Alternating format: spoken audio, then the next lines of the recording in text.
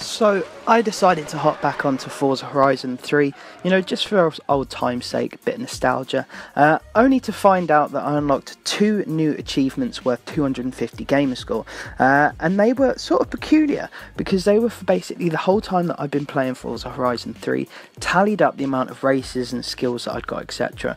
Uh, so when I looked into it and I looked into the Forzathon event, I discovered that it is the last ever Forzathon on Horizon 3.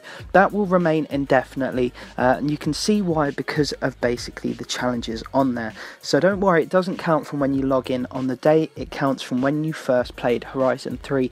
But it is a little bit sad because obviously, you know, this game brought so many people together, it made so many communities. You know, it got a lot of people into the Forza fr uh, franchise and it was an absolutely amazing game. You know, it still is to this day, but it is a little bit sad, you know, to see that this is the final ever Forzathon on Horizon 3. Obviously, the guys at Turn 10 are sort of focusing on Forza 7 um, and Horizon 4.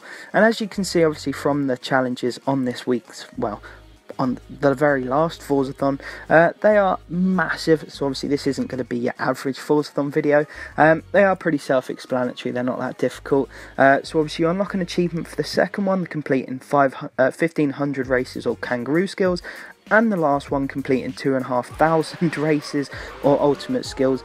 Both of the achievements worth 125 game score, so I definitely recommend you hop back onto Horizon 3 and check it out, because as soon as I logged on, I got 250 game score, which is very, very good, especially for those of you who obviously are achievement hunters and love getting some achievements. They are some big ones, um, and it is a very nice sort of send off to Horizon 3 from the guys at Turn 10. So I very much do appreciate some, you know, little things like that. Um, and like I said, it is a little bit sad and disappointing. It's probably sad that it is sad, um, but it is what it is, you know. Uh, obviously, now everyone's going to be focusing on Horizon 4 and what's next to come, whether it's Motorsport 8 and then obviously Horizon 5. It's just one of them things, you know, it's sort of evolution at its best.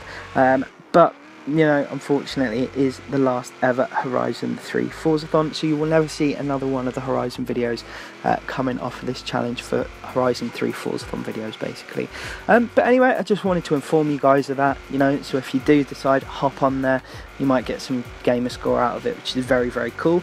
Um, I hope, of course, you all enjoyed this video, and you will stay subscribed for more videos to come in the following Horizon and Motorsport games.